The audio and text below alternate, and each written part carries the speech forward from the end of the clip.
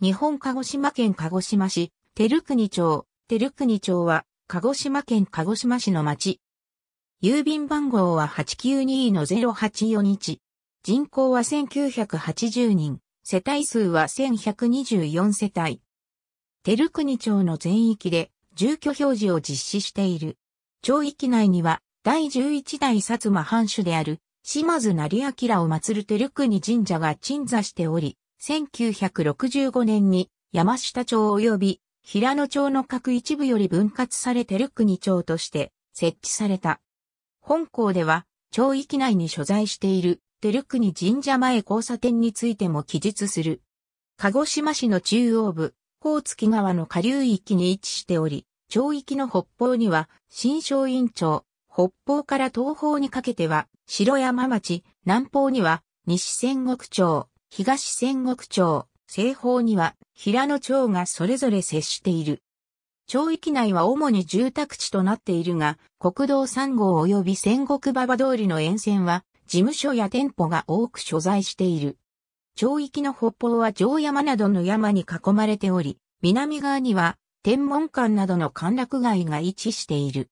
また、東部には照国神社、西部にはカトリック、鹿児島市教区の司教座聖堂であるザビエル教会が所在している。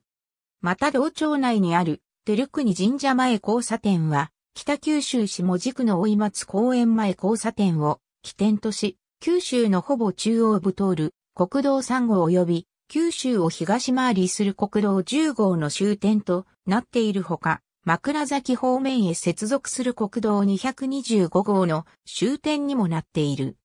照国町という町名は、町域内に所在する照国神社に由来している。照国神社の神社名は、第11代薩摩藩主、島津成明の信号である。照国大明神に由来しており、文久3年5月11日、孔明天皇の直命により、島津成明に対して信号授与されたものである。源氏元年には、照国大明神を祀る神社として、照国神社が現在の照国町の区域に創建された。1962年に住居表示に関する法律が施行されたのに伴い、鹿児島市は鹿児島市街地域の住居表示に着手した。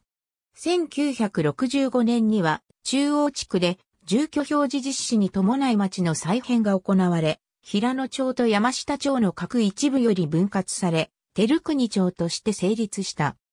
また照国町の全域で住居表示が実施された。以下の表は国勢調査による小地域集計が開始された1995年以降の人口の推移である。照国神社の島津成明像私立小中学校に通う場合、学区は以下の通りとなる。国道照国神社前交差点にある終点表中、照国神社前交差点は、鹿児島県鹿児島市、照国町にある交差点である。国道3号と国道10号と国道225号及びこれに重複する国道226号の終点であり、三角錐型のモニュメントが建てられている。ありがとうございます。